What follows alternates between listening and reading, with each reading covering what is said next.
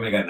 Yo lo único que te digo es, yo nunca creo en encuestas, porque las ganas, ¿quién las paga?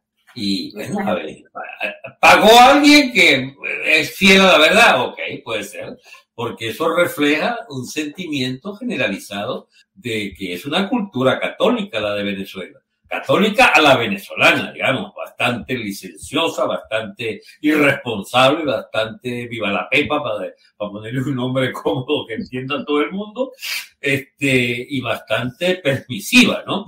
Pero es, un hecho, es muy cierto, es muy cierto, doctor. Es un hecho que la población venezolana sigue fiel a su cultura cristiana, más que católica cristiana en general, este, y ahí fíjate, el que, el que no es un católico también opina como evangélico que es cristiano, y entonces, porque es que no es verdad que las prédicas santeras, que son otra corriente religiosa eh, pagana, primitiva, como quieras llamarla, precristiana o, o, digamos, o bárbara, de todas las cosas que puedas decirse, el vudú y todas esas vainas, bueno, tienen también derecho a expresarse y ellos les gusta todo lo que sea disolvente. Entonces, como el chavismo, este, que es por definición una, una práctica vudú de la política, bueno, no te extrañe que tenga también muchos adeptos que no se manifiestan.